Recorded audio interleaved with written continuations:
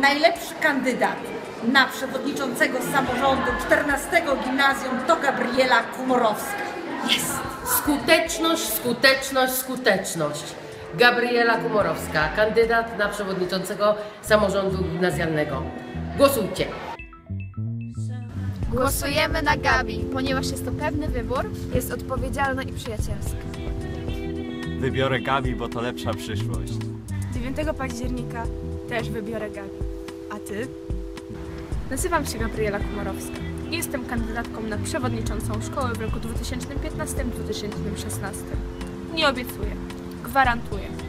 Chcecie przyjaznej szkoły? Chcecie więcej imprez szkolnych? Chcecie normalnego jedzenia? Chcecie sprawiedliwości? Głosujcie na mnie. Wasz wybór to wasza przyszłość, a przyszłość to ja, Gabriela Komorowska.